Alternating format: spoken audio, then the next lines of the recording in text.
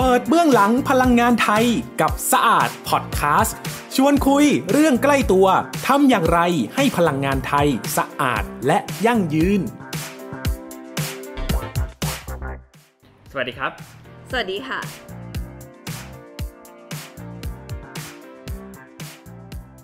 หลายท่านอาจจะเคยพบเจอกับปัญหาไฟดับนะครับ อาจจะ 5 นาทีบ้าง 10 นาทีบ้างนะครับ ซึ่ง เป็นปัญหาที่ดับไม่นานนะครับ แล้วก็จะมีเจ้าหน้าที่นะครับ ไม่ว่าจากการไฟฟ้านครหลวงนะครับ หรือการไฟฟ้าส่วนภูมิภาคเข้ามาแก้ไขปัญหาและเชื่อมโยงสายนะครับ ให้ปัญหานี้จบไปนะครับ แต่อย่างไรก็ตามครับ ประเทศไทยเนี่ยก็เคยเกิดปัญหาที่เป็นไฟดับติดต่อกันในระยะยาวนะครับ หลายชั่วโมงต่อกันครับผมในตอนนั้นนะคะเกิดขึ้นเมื่อประมาณ 46 ปีที่แล้วค่ะ นานมากแล้วนะคะ ที่เกิด เหตุการณ์ไฟดับทั้งประเทศนะคะ ในตอนนั้นเนี่ยเราเรียกเหตุการณ์นี้ว่า black out ค่ะ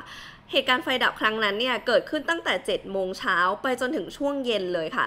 รวมๆแล้วนะคะ น่าจะประมาณ 9 ชั่วโมงได้ค่ะ แล้วสาเหตุที่ทำให้เกิดเหตุการณ์ไฟดับนะคะ ก็คือโรงไฟฟ้าพระนครใต้ค่ะ ที่เป็นโรงไฟฟ้าหลักจากก๊าซธรรมชาติในตอนนั้นเนี่ยเกิดขัดข้องขึ้น แล้วระบบของโรงไฟฟ้าที่เชื่อมโยงกันอยู่ในตอนนั้นเนี่ย อาจจะยังไม่สามารถรองรับและแก้ปัญหาได้ทันค่ะทำให้ไฟเนี่ยค่อยๆ ดับค่ะทีละภูมิภาคนะคะ ก็คือไม่ได้หมายความว่าไฟดับยาว 9 ชั่วโมงนะคะ แต่ว่าไฟเนี่ยเริ่มดับตั้งแต่ภาคเหนือประมาณ 2 ชั่วโมงครับดับต่อกันไปเรื่อยๆ ภาคอีสานต่อไปนะคะครับภาคใต้ต่อไปเรื่อยๆ อย่างนี้นะคะ ก็คือค่อยๆ แก้ปัญหาไปค่ะ ถามว่าเหตุการณ์ครั้งนั้นเนี่ยทำให้เราได้เรียนรู้อะไรค่ะ หลังจากเหตุการณ์ blackout ครั้งนั้นนะคะ ก็ได้มีการตั้งทีมคณะทำงานของฝั่งการไฟฟ้านะคะ ที่จะมาดูแลแล้วก็แก้ปัญหาเรื่องนี้ค่ะ แล้วก็ทำให้หลังจากนั้นเนี่ยเราไม่เคยเกิดเหตุการณ์ไฟดับครั้งใหญ่แบบนั้นขึ้นมาอีกเลยค่ะ นั่นสะท้อนให้เห็นว่าประเทศของเราเนี่ยมีความมั่นคงทางด้านพลังงาน มาก ๆ ในระดับหนึ่งนะคะ แต่ไม่ได้หมายความว่าทุกประเทศค่ะที่จะมีสถานการณ์แบบนี้ค่ะ บางประเทศนะคะ ก็เกิดเหตุการณ์ไฟดับขึ้นอยู่บ่อย ๆ ใช่ไหมคะบดครับหนึ่งในตัวอย่างที่สำคัญครับ คือการดับ ของประเทศเวียดนามนะครับในกรุงฮานอย ในช่วงเดือนเมษายนปี 2566 ครับ ซึ่งในครั้งนั้นเนี่ยครับมันเป็นการดับในช่วงฤดูร้อนนะครับ ซึ่งจะคล้ายกับบ้านเราเลย ที่ฤดูร้อนเนี่ยไม่ว่าจะเป็นครัวเรือนเองก็ตามนะครับหรือภาคธุรกิจอุตสาหกรรมเนี่ยก็จะมีการใช้ไฟที่ค่อนข้างสูงนะครับในระบบปรับอากาศเองก็ตามหรือในการระบบหล่อเย็นต่างๆนะครับซึ่งการใช้ไฟที่สูงเนี่ยแหละครับทำให้เป็นสาเหตุสำคัญครับที่ทำให้เกิดไฟดับครับ ทั้งนี้ทั้งนั้นครับในสถานการณ์ตอนนั้นเนี่ยส่งผลให้ชาวบ้านนะครับหรือคนจำนวนมากเนี่ยต้องออกมาในพื้นที่สาธารณะนะครับเพื่อว่าหลบร้อนอะเราอาจจะบอกว่าต้องหลบร้อนในช่วงเวลานั้นนะครับ ทีนี้เมื่อเราวิเคราะห์ลงไปครับ ว่าสาเหตุที่สำคัญมันเกิดจากอะไรนะครับ เราก็พบว่าเวียดนามเนี่ยครับเป็นหนึ่งในประเทศที่มีการเติบโตทางด้านเศรษฐกิจเนี่ยที่ค่อนข้างสูงนะครับในช่วงทศวรรษที่ผ่านมานะครับโดยเฉพาะในช่วงหลัง สถานการณ์โควิดนะครับ ซึ่งการเติบโตทางด้านเศรษฐกิจที่สูงเนี่ยครับมักจะมาพร้อมกับเรื่องของการใช้ไฟที่สูงตามนะครับ เพราะเป็นการอยากให้ทุกคนจินตนาการนะครับ เป็นการเหมือนเปิดร้านใหม่สร้างบ้านเพิ่มนะครับทำธุรกิจเพิ่มไอการเพิ่มส่วนเนี้ยนะครับทำให้การไฟฟ้าเนี่ยจะต้องมีการเตรียมการวางแผนนะครับว่าระบบการใช้ไฟระบบการผลิตไฟหรือการจ่ายไฟเนี่ยครับ ควรมีปริมาณที่เพิ่มมากขึ้นอืมนะครับแต่การลงทุนที่ไม่เพียงพอเนี่ยครับในช่วงประมาณตั้งแต่ปี 2564 จนถึง 2566 ของประเทศเวียดนามเนี่ยครับการลงทุนในส่วนเนี้ยยังมีไม่เพียงพอนะครับกับความต้องการใช้นะครับเมื่อความต้องการใช้ไปสู่ในฤดูร้อนอ่าที่มีความต้องการค่อนข้างสูงเนี่ย ทำให้กระแสไฟฟ้าเนี่ยเกิดตกระดับครับผม อันเนี้ยเลยเป็นปัญหาสำคัญครับที่ทางเวียดนามเนี่ยกำลังพบเจออยู่ในปัจจุบัน แล้วก็มีความพยายามที่จะเร่งแก้ในส่วนนี้ครับ ค่ะ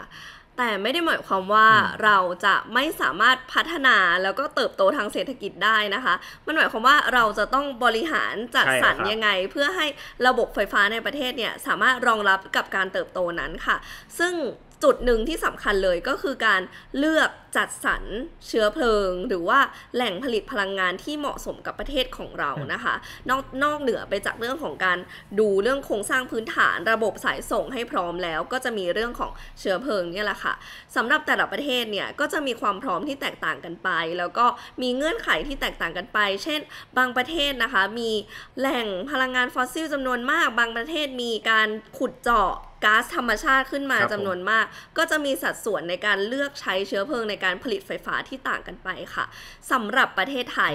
เราเน้นที่อะไรคะเรามาดูสัดส่วนกันนะคะ ประเทศไทยค่ะ เรามีการใช้พลังงานหลักนะคะ มาจากเชื้อเพลิงฟอสซิลค่ะถึง 69%ประกอบไปด้วย เชื้อเพลิงที่มาจาก ก๊าซธรรมชาติมากกว่า 50%ค่ะ แล้วที่เหลือนะคะอีก 16%เนี่ยก็คือถ่านหินค่ะ นั่นเท่ากับว่าใน 69%นี้นะคะ เรากำลังผลิตไฟฟ้าจากพลังงานที่เป็นเชื้อเพลิงที่ไม่สะอาด หรือว่าปล่อยมลพิษนั่นเองครับผมซึ่งไม่ใช่เป็นทิศทางที่ทั่วโลกกำลังเดินหน้าไปอยู่ตอนนี้ เป็นเชื้อเพลิงที่ต้องเกิดการเผาไหม้ใช่เป็นเชื้อเพลิงที่ทำให้เกิดการปล่อยก๊าซคาร์บอนไดออกไซด์หรือก๊าซเรือนกระจกเนี่ยแหละครับ ถูกต้องค่ะ แต่ถามว่าทำไมเราถึงเลือกเชื้อเพลิงนี้เป็นหลักมาโดยตลอดนะคะอืมก็อาจจะเป็นเพราะว่าเราสามารถเอ่อขุดเจาะแล้วก็ดึงก๊าซธรรมชาติมาได้จากฝั่งอ่าวไทยนะคะ ส่วนหนึ่งนะคะ แล้วอีกส่วนหนึ่งเนี่ยเราก็ได้มีการดึงมาจากต่างประเทศนะคะเป็นอย่างการเช่นนำเข้าการนำเข้านะคะจากพม่านะคะอืมจากเมียครันบผมมานะคะ หรือว่าในฝั่งของประเทศ เอ่อกาตาร์มาเลเซีย กาตาร์ออสเตรเลียนะคะ ก็มีการดึงก๊าซธรรมชาติมาจากประเทศเหล่านั้นเช่นกัน ส่วนหนึ่งเนี่ยมันอาจจะทำให้เราจำเป็นจะต้องพึ่งพาต่างชาติเยอะด้วยซ้ำนะคะ ซึ่งตรงเนี้ยเราจะเห็นในช่วงที่เวลาก๊าซ ราคาก๊าซธรรมชาติของโลกเนี่ยมันเพิ่มมากขึ้นใช่นั่นเป็นเหตุผลครับว่าทำไมค่าไฟของบ้านเราเดี๋ยวถึงแพงขึ้นตามนะครับอืมเพราะแหล่งที่มาของเชื้อเพลิง แหล่งที่มาของพลังงานที่เราใช้เนะครับมันไปพึ่งพิงของในต่างประเทศนะครับ ซึ่งอ้างอิงตามราคาในระดับโลกนะครับ ทั้งนี้ทั้งนั้นครับ ตัวการขนถ่ายก๊าซธรรมชาติอาจจะมีทั้งมาในรูปแบบของท่อนะครับจากประเทศเพื่อนบ้านที่อยู่ในภูมิภาคที่ใกล้กันนะครับ รวมถึงในภูมิภาคที่ไกลออกไป ก็จะเป็นในลักษณะของการทำเป็นก๊าซธรรมชาติเหลวนะครับ แล้วก็เอาใส่ในเรือเนี่ยแล้วก็ขนมาที่ท่าเรือของก๊าซธรรมชาติในประเทศไทยนะครับ ทั้งนี้ทั้งนั้นครับสัดส่วนอีกส่วนหนึ่งนอกจากก๊าซธรรมชาตินะครับหรือว่าถ่านหินก็ตามเนี่ย ประเทศไทยเองเนี่ยก็ยังมีเรื่องของพลังงานหมุนเวียนครับ ซึ่งคิดเป็นสัดส่วนอยู่ประมาณที่ 10%พลังงานหมุนเวียนเนี่ยอาจจะแบ่งได้อีก 2 ก้อนหลักๆครับ คือก้อนครึ่งหนึ่งเนี่ยที่เป็นคิดเป็นประมาณ5%นะครับ มาจากชีวมวลครับ ชีวมวลเนี่ยก็คือสิ่งที่ได้จากาสารอินทรีย์นะครับหรือว่าผลิตภัณฑ์ทางการเกษตรนะครับ เมื่อมีการเก็บเกี่ยวแปรรูปเสร็จแล้วเนี่ยมันจะเหลือบางส่วน เช่นเปลือกของผลไม้ใช่ไหมครับหรือว่ากากน้ำตาลกากของอ้อยพวกเนี้ยครับเราก็จะสามารถเอา วัสดุเหลือจากการผลิตเหล่านั้นเนี่ยครับมาใช้ในการแปรรูปครับแล้วก็ออกมาเป็นพลังงานพลังงานได้เช่นเดียวกันนะครับ รวมไปถึงเรื่องของอขยะจากมูลสัตว์นะครับ จากระบบของปศุสัตว์เหล่านี้ครับก็สามารถเอามาหมักครับเพื่อให้เกิดแก๊สและแก๊สตัวนั้นเนี่ยก็ใช้ในการผลิตไฟฟ้าได้เช่นเดียวกันครับ นอกจากนั้นเนี่ยนอกจากชีวมวลแล้วเนี่ยมันยังมีตัวเลือกอื่นๆครับที่ปัจจุบันประเทศไทยเนี่ยก็มีการใช้เช่นเดียวกันนะครับ แม้จะยังไม่เยอะแต่ถือว่าเป็นทิศทางต่อไปในอนาคตนะครับ ซึ่ง แหล่งพลังงานเหล่านั้นครับก็จะมีทั้งเรื่องของแดดนะครับในในรูปของโซลาร์เซลล์นะครับอย่างที่ทุกคนคุ้นชินกันที่ติดอยู่บนหลังคาบ้านนะครับแล้วก็มีเรื่องของพลังงานลมครับในลักษณะของกังหันนะครับแล้วก็พลังงานพลังงานลม พลังงานแดดใช่ไหมครับแล้วก็พลังงานน้ำนะครับในตามพื้นที่เขื่อนต่างๆ ของประเทศไทยนะครับรวมถึงพลังงานความร้อนใต้พิภพครับซึ่งมีอยู่ที่ อ่าอำเภอฝางจังหวัดเชียงใหม่แห่งเดียวในประเทศไทยนะครับอืมจะเราจะเห็นได้ว่าตัวเลือกของพลังงานที่ใช้ในการผลิตเนี่ยครับมันมีค่อนข้างหลากหลายนะครับผมเมื่อเรารู้แล้วนะคะว่าเรามีตัวเลือกพลังงานที่หลากหลาย แล้วเราสามารถเลือกใช้ได้เนี่ย แต่ไม่ได้หมายความว่าเราเลือกอะไรมาก็ได้ค่ะ มันมีอืมวิธีคิดอยู่นะคะ ในการที่มีหลักคิดใช่มันครับมีผมหลักคิดอยู่ในการที่เราจะเลือกใช้พลังงาน หรือว่าเลือกสัดส่วนของพลังงานในแต่ละประเทศนะคะ มี 3 ประเด็นค่ะ เรื่องแรกนะคะ คือเรื่องของความมั่นคงค่ะอืมก็คือทำยังไงก็ได้ให้ไฟไม่ดับชัดเจนในไฟเรื่องนี้มีพอครับผมใช้สำหรับความต้องการของคนในประเทศค่ะ และเรื่องที่สองค่ะ คือเรื่องราคาอืมราคาต้องดี ไม่ได้แปลว่าราคาถูกเท่านั้น แต่ราคาต้องเหมาะสมกับต้นทุน สะท้อนะคะต้นทุนการผลิตที่แท้จริง ใช่ค่ะ และเรื่องที่3ค่ะ ก็คือเรื่องของความยั่งยืน นั่นก็คือสิ่งที่พอดแคสต์เราพยายามพูดมาตลอดนะคะครับก็คือทำอย่างไรให้ไฟฟ้าในประเทศของเราเนี่ยสะอาด ครับผมแล้วเป็นพลังงานที่ยังมีไว้ใช้อย่างต่อเนื่องได้ด้วยอืมนะคะเราจะเห็นได้ว่า 3 ประเด็นนะครับ ไม่ว่าจะเป็นเรื่องของความมั่นคงนะครับ เรื่องของราคาที่เข้าถึงได้นะครับ แล้วก็เรื่องของความยั่งยืนความเป็นมิตรต่อสิ่งแวดล้อมนะครับ ทั้ง 3 ประเด็นเนี้ยเป็นประเด็นที่แต่ละประเทศนะครับ จะต้องมีการตัดสินใจกันอืมว่าเราจะให้ความสำคัญเรื่องใดเป็นพิเศษนะครับ แล้วเราจะรักษาสมดุลทั้ง 3 เรื่องไว้ได้อย่างไรนะครับ ซึ่งเราพอเราย้อนกลับมาดูครับ ในภูมิภาคอาเซียนของเราเองเนี่ยครับในแต่ละประเทศครับก็จะมีจุดเด่นในเรื่องแต่ละเรื่องในแต่ละมิติเนี่ยที่แตกต่างกันครับเราอาจจะบอกได้ว่าในประเทศไทยนะครับกับประเทศลาวเนี่ยเป็น 2 ประเทศที่ค่อนข้างมีเรื่องของทรัพยากรธรรมชาตินะครับมีเรื่องของพื้นที่ป่าเองก็ตามพื้นที่เขื่อนนะครับแล้วก็มีตัวเลือกในการผลิตไฟฟ้าที่หลากหลายนะครับไม่ว่าจะเป็นจากโรงไฟฟ้า ก๊าซธรรมชาติเองก็ตามนะครับโรงไฟฟ้าพลังงานน้ำนะครับหรือแม้กระทั่งแสงแดดก็ตามนะครับ การมีพื้นที่ที่ค่อนข้างกว้างนะครับหรือว่ามีพื้นที่ที่เหมาะสมแก่การตั้งโซลาร์เซลล์นะครับอันนี้ก็จะเป็นประเด็นสำคัญครับที่ทำให้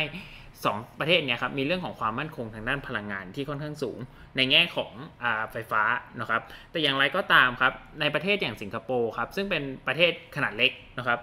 พยากรธรรมชาติอาจจะมีค่อนข้างจำกัดนะครับ ดังนั้นเนี่ยเขาก็จะมีปัญหาเรื่องของความมั่นคงทางด้านพลังงานนะครับเพราะเขาต้องพึ่งพิงการผลิตไฟฟ้าเนี่ยจากประเทศเพื่อนบ้านในภูมิภาคนะครับ ซึ่งอันเนี้ย เป็นข้อแตกต่างสำคัญที่เราอยากจะพยายามฉายให้เห็นนะครับ หรือแม้กระทั่งอย่างฟิลิปปินส์หรืออินโดนะครับในบางภูมิภาคของสองประเทศเนี่ยครับก็จะมีลักษณะเป็นเกาะนะครับพอเป็นลักษณะเป็นเกาะเนี่ยความท้าทายอย่างหนึ่งที่สำคัญก็คือการต่อสายส่งไฟฟ้าเนี่ยแหละครับจากแหล่งผลิตหนึ่งไปสู่อีกแหล่งหนึ่งแหล่งใช้งานนะครับความคุ้มค่าความคุ้มทุนนะครับซึ่งนั่นเป็นเหตุผลครับว่าบางส่วนของภูมิภาคในประเทศเหล่านั้นเนี่ยครับยังคงมีข้อจำกัดครับในแง่ของการผลิต แล้วก็การจำหน่ายไฟฟ้านะครับซึ่งทำให้การเข้าถึงเนี่ยอาจจะยังมีข้อจำกัดอยู่ครับ ใช่ค่ะ ใน EP นี้นะคะ ตั้งแต่ต้นเราพยายามจะฉายภาพให้เห็นว่าประเทศไทยเนี่ยมีการเกิดเหตุการณ์ไฟดับน้อยมากครับ นั่นแปลว่าเรากำลังมีความมั่นคงของพลังงานที่ชัดมาก ที่ค่อนข้างสูงเลยแหละ ใช่ เราอาจจะพูคดรับแบบนั้นได้เลยนะคะ แต่เราต้องมาตั้งคำถามกันต่อว่าค่ะว่าอีก 2 ด้านที่เราพูดไปเมื่อกี้นะคะ เรื่องของราคาและเรื่องของความยั่งยืนเนี่ย เราทำได้ดีพอแล้วหรือยังคะอืมถ้าครับเราผมลองเปรียบเทียบประเทศไทยเป็นบ้านหนึ่งหลังใช่ไหมคะครับเราไม่อยากให้ไฟดับ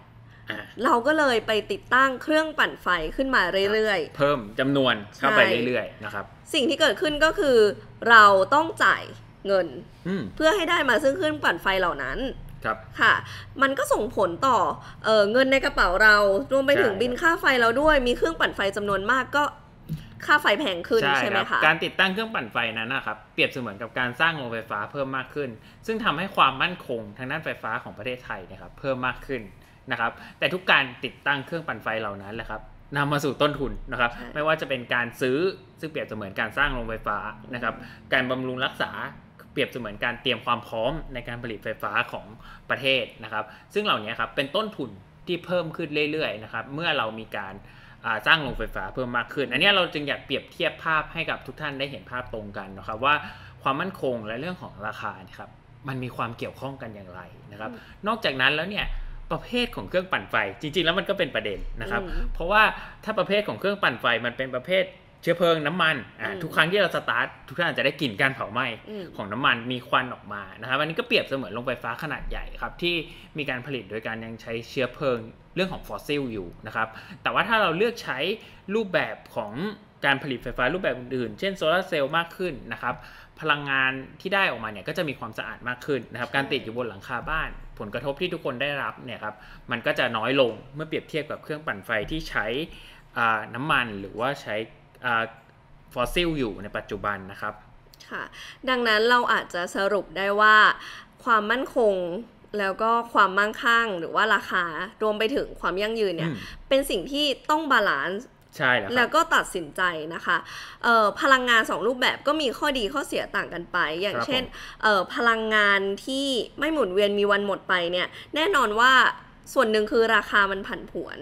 ครับอ่าไปตามเศรษฐกิจของโลกใช่ไหมคะ แล้วก็มีผลกระทบด้านสิ่งแวดล้อมด้วย แต่อย่างหนึ่งคือเออที่ผ่านมาเนี่ยเราใช้มานานอืมแล้วมันก็ยังมีตอนนี้ราคาเริ่มแบบ คือถูกคงที่แล้วประมาณครับหนึ่งใช่ไหมคะแต่มันกระทบต่อสิ่งแวดล้อมค่ะ ส่วนพลังงานหมุนเวียนเนี่ยข้อดีคือเออพลังงานเนี้ยมันมีใช้ต่อไปได้เรื่อยๆ แล้วมันไม่กระทบกับสิ่งแวดล้อม แต่มันยังมีข้อกังวลในเรื่องของความราคาเรื่องของอ่าความเสถียรใช่นะความเสถียรเป็นโจทย์ที่ถกเถียงกันมากค่ะ แต่บอกได้เลยว่าโจทย์เหล่านี้ค่ะ มีทางแก้ เทคโนโลยีใหม่ ๆ ที่เกิดขึ้นค่ะ จะมาช่วยทำให้พลังงานหมุนเวียนเนี่ยสามารถเกิดขึ้นได้จริง แล้วใช้ได้จริงในการผลิตไฟฟ้าค่ะ ครับผมนอกจากนั้นแล้วเนี่ยครับเรื่องของถ้าวันหนึ่งบทบาทของประชาชนนะครับอืมในฐานะผู้ใช้ไฟมาตลอดหลายสิบปีเนี่ยครับเปลี่ยนกลายเป็นผู้ผลิตไฟนะครับ หลังจากที่เขามีตัวเลือกจากเทคโนโลยีใหม่ๆ ไม่ว่าจะเป็นโซลาร์เซลล์เองก็ตามนะครับ เหล่านี้จะทำให้คนมีทางเลือกมากยิ่งขึ้น และสามารถที่จะผลิตไฟ ในการจำหน่ายกลับเข้าไปในระบบโครงข่ายได้นะครับ การจะเกิดสถานการณ์นี้ขึ้นเนี่ยมันจะต้องมีการปรับเรื่องของทั้งกฎระเบียบ เรื่องของเทคโนโลยี และแน่นอนมุมมองหรือความรู้สึกของคนด้วยนะครับ ทั้งทั้งหมดทั้งมวลเนี่ยครับจะเป็นเรื่องสำคัญครับที่เราหยิบยกกันขึ้นมาพูด แล้วก็ ถกเถียงกันต่อไปครับใช่ว่าความเป็นไปได้ในอนาคตเป็นแบบไหนอืมบทบาทของภาคประชาชน ภาคประชาสังคมควรเป็นอย่างไรนะครับ และที่สำคัญที่สุดครับกฎระเบียบของทางภาครัฐ การสนับสนุนของทางภาครัฐเนี่ยจะเป็นตัวขับเคลื่อนสำคัญอีกประการหนึ่งครับ ที่ทำให้สถานการณ์นะครับหรือหรือการเปลี่ยนผ่านทางด้านพลังงานสะอาดของประเทศไทยเกิดขึ้นได้อย่างรวดเร็วครับผม แล้วพบกันครับ ติดตามสะอาดพอดแคสต์ได้ทุกช่องทางออนไลน์ของไทย PBS Podcast และ TDRI